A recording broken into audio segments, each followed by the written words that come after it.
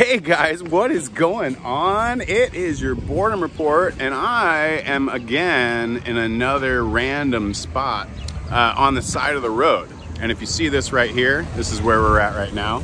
Marlyn's. Marlyn's. So someone told me about it. We were actually we were on a journey today, uh, and we were going to be going to a place called um, uh, what the heck was it? It was the uh, Sinaloa, Sinaloa, but they were closed. So I had heard about this place, Marlyn's, and here it is right here. And it's right on the side of the road. You see the OXXO right there. It's on the east side of Rosarito, but literally in the middle of freaking nothing. Uh, but they've been here. This food truck has been here for like 15 years, uh, or maybe even 20. These guys are busting ass here. Look at it. What's up, guys? How's it going? ¿Cómo estás? ¿Cómo estás? ¿Está bien? They just made me this badass fish taco right here check that puppy out. And then this is this is what I love, right? So the, the kitchen, the food truck, the cocinas out here, their prices are freaking killer. Uh, and then you come inside and we come right here and uh, check this out. So all indoor seating.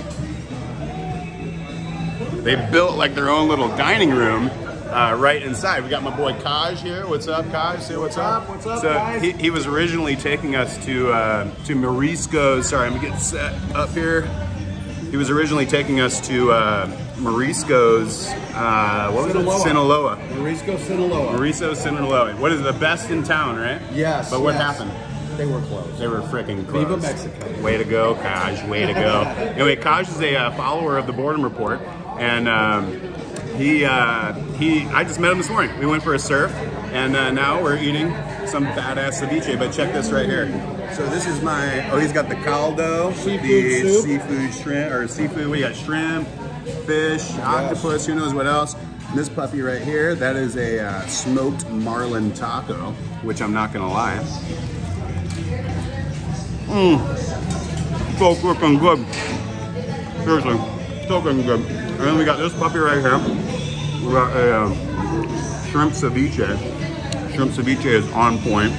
I went a little overboard. I went a little fat ass today. But I did surf for like two, three hours, so I guess that's okay. So this is Mariluz. If you get a chance, or sorry, Marlyn's. Marlyn's. If you get a chance, check it out. Our salsas are badass. Comes with all the accoutrements. And who knows, you might run into Kaj there as well. So if you get a chance, check out Marluz. Or if not, just go off the beaten path and find anything that frickin' looks cool because it's gonna be worth it. We'll catch you soon. Asa!